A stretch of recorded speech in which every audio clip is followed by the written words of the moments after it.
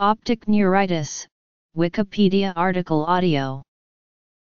Optic neuritis is a demyelinating inflammation of the optic nerve. It is also known as optic papillitis and retrobulbar neuritis. It is most often associated with multiple sclerosis, and it may lead to complete or partial loss of vision in one or both eyes. Signs and symptoms Cause Demyelinating recurrent optic neuritis and non-demyelinating. Treatment and prognosis. Epidemiology. Society and culture. Partial, transient vision loss can be an indication of early onset multiple sclerosis.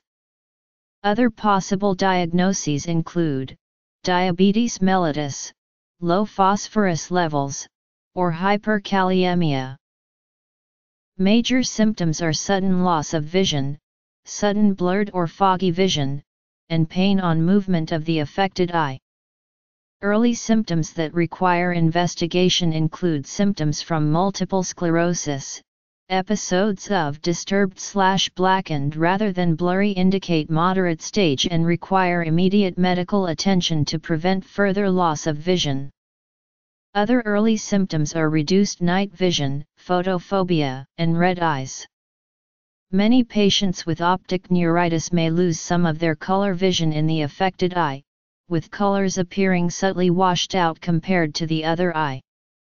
Patients may also experience difficulties judging movement in depth which can be particular troublesome during driving or sport.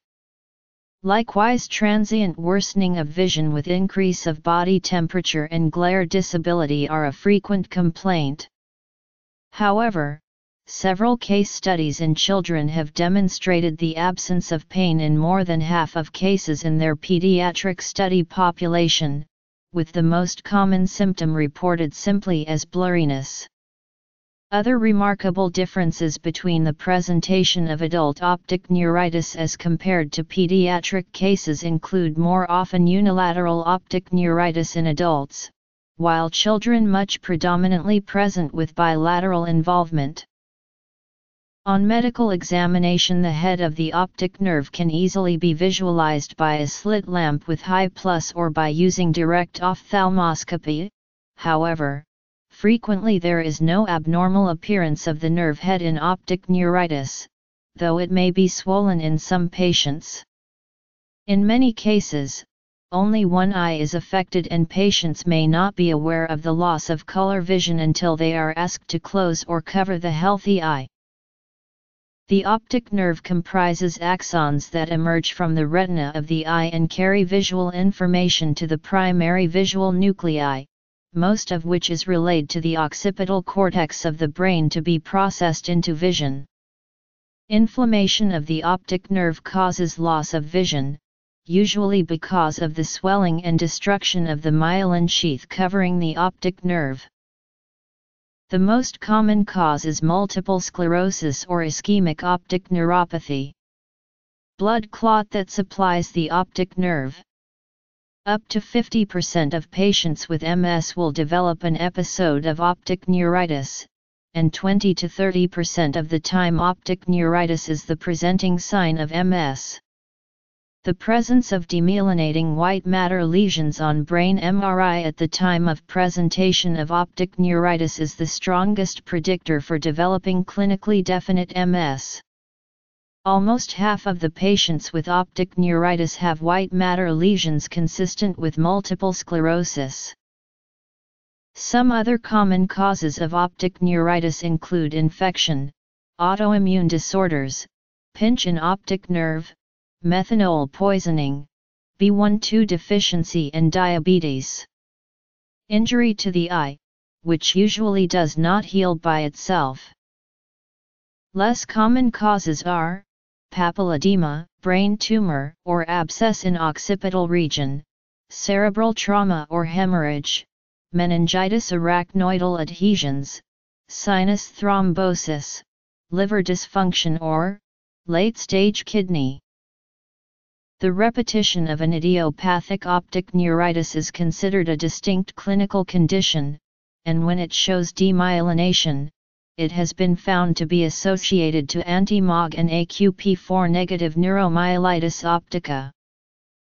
When an inflammatory recurrent optic neuritis is not demyelinating, it is called chronic relapsing inflammatory optic neuropathy. When it is anti-MOG related, it is demyelinating and it is considered inside the anti-MOG associated inflammatory demyelinating diseases. In most MS-associated optic neuritis, visual function spontaneously improves over 2-3 months, and there is evidence that corticosteroid treatment does not affect the long-term outcome. However, for optic neuritis that is not MS associated the evidence is less clear and therefore the threshold for treatment with intravenous corticosteroids is lower. Intravenous corticosteroids also reduce the risk of developing MS in the following two years in patients with MRI lesions, but this effect disappears by the third year of follow-up. Paradoxically, oral administration of corticosteroids in this situation may lead to more recurrent attacks than in non-treated patients. This effect of corticosteroids seems to be limited to optic neuritis and has not been observed in other diseases treated with corticosteroids. A Cochrane systematic review studied the effect of corticosteroids for treating people with acute optic neuritis. Specific corticosteroids studied included intravenous and oral methylprednisolone, and oral prednisone. The authors conclude that current evidence does not show a benefit of either intravenous or oral corticosteroids for rate of recovery of vision. Optic neuritis typically affects young adults ranging from 18-45 years of age, with a mean age of 30-35 years. There is a strong female predominance. The annual incidence is approximately 5/100,000, with the prevalence estimated to be 115/100,000. In the season 5 episode of Dr. Quinn, Medicine Woman, Season of Miracles, Reverend Timothy Johnson is struck blind by optic neuritis on Christmas Day, 1872. He remains blind for the duration of the series. In Charles Dickens' Bleak House the main character, Esther Summerson suffers from a transient episode of visual loss with symptoms also observed during the course of optic neuritis. Sir William Searle Holdsworth suggested Bleak House to have taken place in 1827.